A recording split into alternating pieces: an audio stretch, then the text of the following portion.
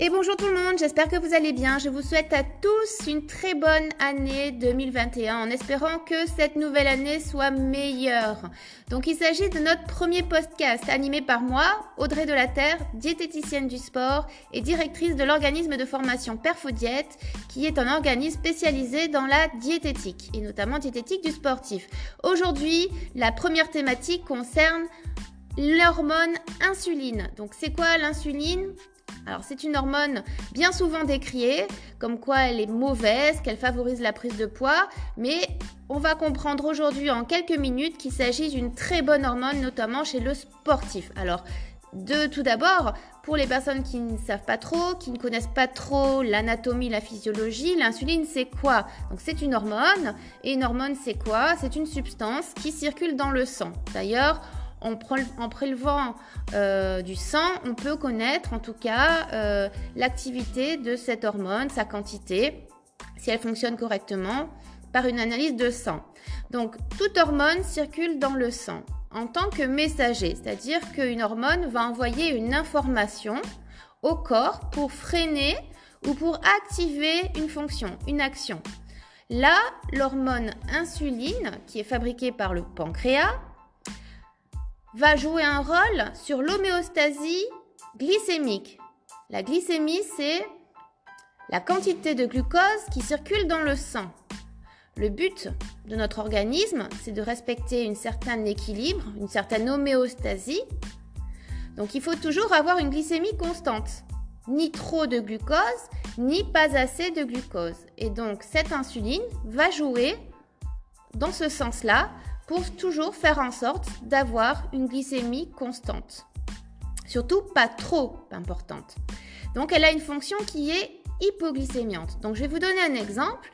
Donc vous prenez par exemple un petit déjeuner hyperglycémiant, comme par exemple on va prendre du lait chocapic, du lait avec du Nesquik, du pain blanc, de la confiture, un jus d'orange.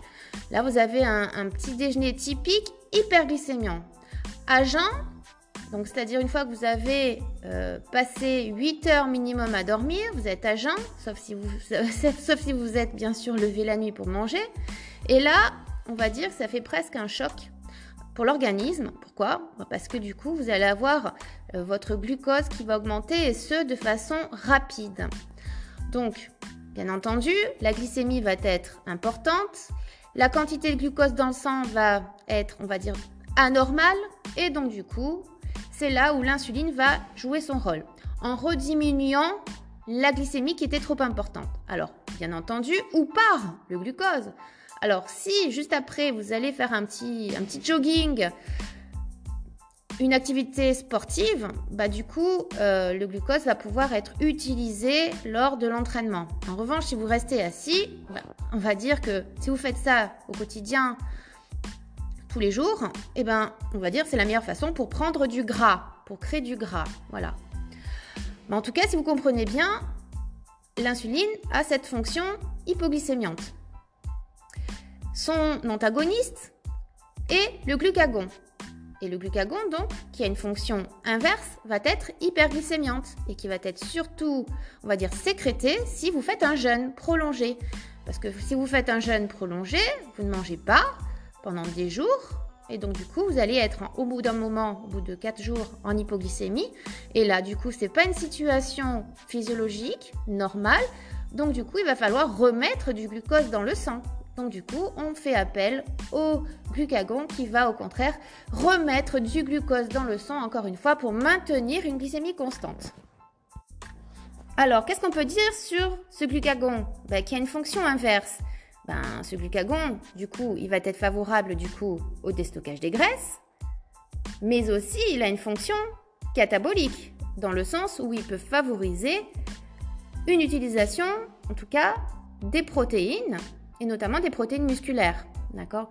Donc si on comprend bien, l'insuline est une hormone anabolisante, dans le sens où elle va créer, elle va créer de la matière, notamment du gras, alors que le glucagon est une hormone antagoniste, donc catabolisante, et au contraire va favoriser une lipolyse, c'est-à-dire un certain déstockage de graisse, mais aussi un risque de, protéolyse, c'est-à-dire d'utilisation des protéines corporelles et notamment ça peut être le muscle. Alors que l'insuline, si on admet une personne qui fait de la musculation, qui est en recherche de se développer musculairement, eh ben, l'insuline, on peut dire que c'est une amie. Pourquoi? Eh ben, Parce qu'elle a, de par sa fonction anabolique, elle va favoriser la synthèse protéique et donc entretenir et pouvoir en tout cas respecter un objectif de prise de masse musculaire. Alors l'insuline, on a vraiment, comme je l'ai dit, tendance à la discriminer, alors qu'au contraire, elle doit être sollicitée chez le sportif.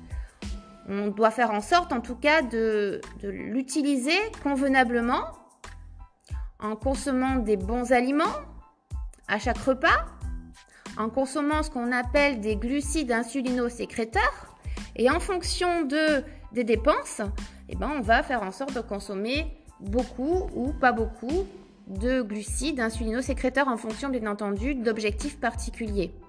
Mais en tout cas, le, message que j'essaye de vous faire comprendre, c'est que l'insuline est vraiment très très importante. Pour les personnes qui m'ont suivi en formation et qui me suivent en formation, l'insuline, c'est une petite clé qui permet d'ouvrir les cellules, notamment les cellules musculaires, en acide gras, en glucose et en acide aminé.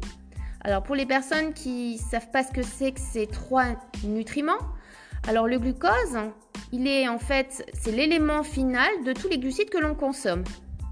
Les acides gras, bah, ce sont les éléments finaux des graisses que l'on consomme. Et enfin, les acides aminés, bah, ce sont les éléments finaux lorsque l'on consomme des protéines. Ce sont les petites perles qui constituent le collier, comme je l'explique bien souvent en formation. Imaginez-vous par exemple un grand collier de perles d'une centaine de perles. Et eh bien en fait, le collier de perles, ça peut être une protéine. Et chaque perle, c'est un acide aminé.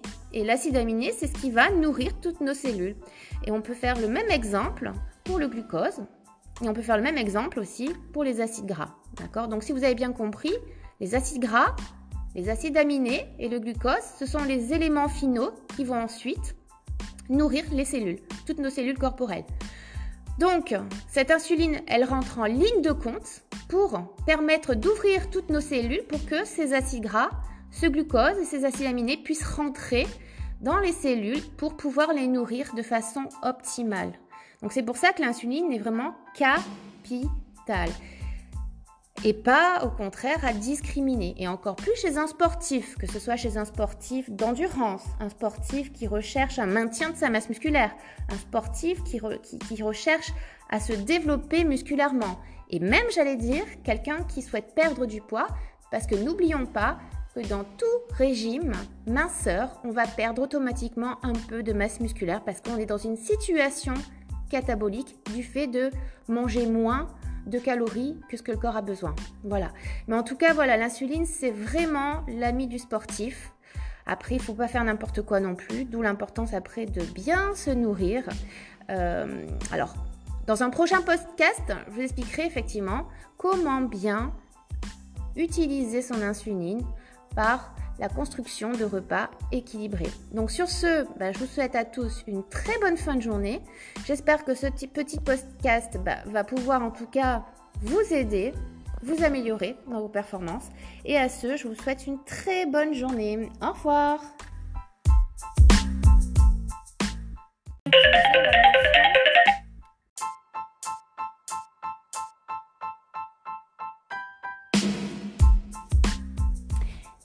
Tout le monde Deuxième podcast qui fait suite au précédent concernant l'insuline, l'ami du sportif.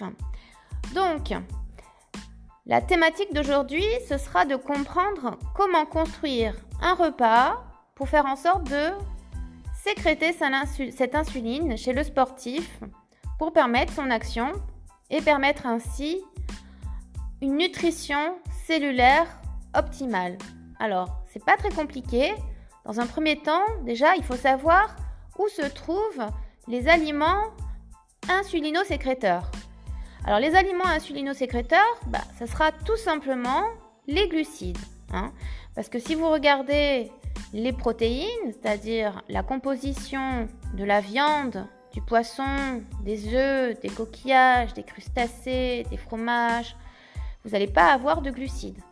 Prenez un, manuel de diététique, vous n'allez pas trouver de glucides. Vous allez trouver des lipides en plus ou moins grande quantité et des protéines aussi en plus ou moins grande quantité, mais pas de glucides. Donc ça veut dire que les, tous les aliments protéiques n'apparaîtront du, coup jamais sur euh, la liste euh, d'index glycémique des aliments. Pour ce qui est des lipides, bah, les lipides, les corps gras, bah, c'est tout ce qui contient du gras. Euh, donc ça peut être effectivement les huiles. Les huiles contiennent à 100% de graisse, qu'importe l'huile, que ce soit de l'huile végétale ou même des huiles d'origine animale. Ensuite, vous avez tout ce qui est graines oléagineuses, donc c'est-à-dire l'avocat, tout ce qui est amandes, noisettes, tous les fruits à coque. Ben, si vous regardez la composition de ces aliments, il n'y a pas de glucides, il y a juste des lipides en plus ou moins grande quantité, associés à aussi des protéines qu'on appelle du coup végétales aussi, en plus ou moins grande quantité. On va retrouver des lipides aussi dans les produits animaux comme la viande, en fonction aussi du morceau. Hein, on peut avoir très très peu de lipides, comme c'est le cas par exemple du blanc de poulet, comme on peut avoir le cas avec beaucoup de lipides, comme certains morceaux, comme par exemple des gigots d'agneau. Mais bon, encore une fois, c'est pas non plus très catastrophique comparé à des fromages qui contiennent 25 à 30 grammes de lipides pour 100 grammes. D'accord? Donc, si on comprend bien, ces deux groupes d'aliments, que sont les lipides? Les protéines, ben, vont pas contenir de glucides. Donc ça veut dire que ce sont des aliments qui ne vont pas du coup être insulino-sécréteurs. Sauf petite parenthèse pour les laitages. On y reviendra plus tard. Donc il reste les aliments glucidiques qui, qui sont une très très grande famille, les glucides. Donc dans les glucides, on a bah, les fruits. Et dans les fruits, il y a les compotes, les jus de fruits, les fruits frais, les fruits secs. Ensuite, on a bah, les légumes. En général, les légumes verts, il y a très très peu de glucides, mais il y en a un petit peu, 2-3 grammes. Par contre, il y a des légumes qui en contiennent un peu plus, comme c'est le cas par exemple de l'oignon, de la carotte et de la betterave. Ensuite, vous avez tout ce qui est pommes de terre, patates douces. Comme fruits, on a, n'oublions pas aussi la banane qui contient de l'amidon, tout comme la châtaigne. On a aussi dans le groupe des glucides les céréales. La liste est très longue. On y inclut donc le maïs qui n'est pas un légume. Et enfin, on a les légumineuses euh, qui sont les lentilles, les pois chiches, les pois cassés, les pois rouges, le soja. Et enfin, et enfin, et surtout, le sucre que l'on a de partout dans tous les aliments industriels. Donc la liste est très longue. Donc c'est là, hein, ce sont ce groupe d'aliments qui va être plus ou moins insulino-sécréteur. Donc ça veut dire que si vous avez bien compris le podcast précédent, chez un sportif, pour faire en sorte d'entretenir une bonne performance, d'avoir une bonne nutrition cellulaire, d'avoir un bon maintien de sa masse musculaire et d'éviter des conséquences, qu'est-ce qu'il faut faire? Il faut, et je le répète bien, que ce soit chez un sportif qui s'entraîne suffisamment et régulièrement, pas un sportif occasionnel qui s'entraîne juste le week-end de temps en temps. On parle vraiment d'un sportif qui s'entraîne 3-4 fois par semaine minimum de façon structurée et suffisamment intense. Donc ce sportif-là, il va avoir besoin de glucides dans une certaine quantité, bien entendu en fonction de sa génétique. Et pour cela, qu'est-ce qu'il faut faire en pratique? Eh bien du coup, consommer des glucides si possible insulino-sécréteurs, et ce à chaque repas, voire même certaines collations. Donc ça veut dire par exemple bah, utiliser parmi les aliments que j'ai cités, d'en consommer. Donc on va me dire mais oui, mais les fruits, qu'en est-il? Alors les fruits, effectivement, si on parle des fruits acides qui contiennent très très peu de glucides, est-ce qu'ils vont faire sécréter l'insuline? Eh ben non, pas beaucoup. C'est d'ailleurs pour cela que les fruits acides, les fruits rouges, tout ce qui est citron, pamplemousse, vont être répertoriés sur une liste d'aliments, une liste d'aliments qu'on appelle l'index glycémique des aliments. Donc c'est important, cet index glycémique des aliments, pour connaître les aliments qui font sécréter l'insuline. Donc, une personne sportive devra choisir dans la liste des aliments glucidiques, des glucides qui ont un index glycémique suffisamment haut pour permettre à la cellule de se nourrir correctement. Alors, d'un point de vue pratique, comment ça se passe? Eh bien, Prenons le cas d'un petit déjeuner. Un petit déjeuner doit être construit ainsi. Un groupe de protéines, un groupe de lipides et un groupe de glucides insulinosécréteurs. Ça peut être le cas d'une banane. Ça peut être le cas de flocons d'avoine. Ça peut être le cas, on peut dire, de euh, pancakes à la farine, par exemple, de patates douces. Ça peut être de pain complet. Donc, c'est tout simplement de choisir parmi ces aliments. Au moins un. Au moins un, j'allais dire. Parce qu'une personne qui est aussi en recherche de perdre du poids et qui pratique une activité sportive, il va falloir faire en sorte de respecter un autre critère qui s'appelle la charge glycémique. Donc, on ne parle pas encore de, de cet objectif-là. Ça sera l'occasion de traiter ce sujet lors d'un autre podcast. Mais en tout cas, une chose est sûre, c'est que chez tous les sportifs qui s'entraînent de façon assidue, suffisamment intense, au cours de la semaine, il va falloir qu'au cours de leur repas, au petit déjeuner, au repas du midi et au repas du soir, qu'il y ait au moins une présence, même en faible quantité, à minima, une source de glucides insulinosécréteurs, d'où l'importance de connaître les glucides insulinosécréteurs. Pour une personne qui ne souhaite pas consommer de féculents, il est tout à fait possible d'avoir cet effet insulinosécréteur en consommant par exemple carottes, betteraves, qui ont un index glycémique quand même suffisamment élevé pour permettre le déverrouillage de nos cellules et ainsi permettre une nutrition cellulaire optimale. Mais pour faire simple, pour euh, traiter, pour conseiller des personnes lambda, qui représentent on va dire 90% de la population, qui n'ont aucune connaissance en nutrition, pour faire simple, on va de d'amidon, d'aliments qu'on appelle les féculents. Les féculents, ce sont tous les aliments qui contiennent de l'amidon.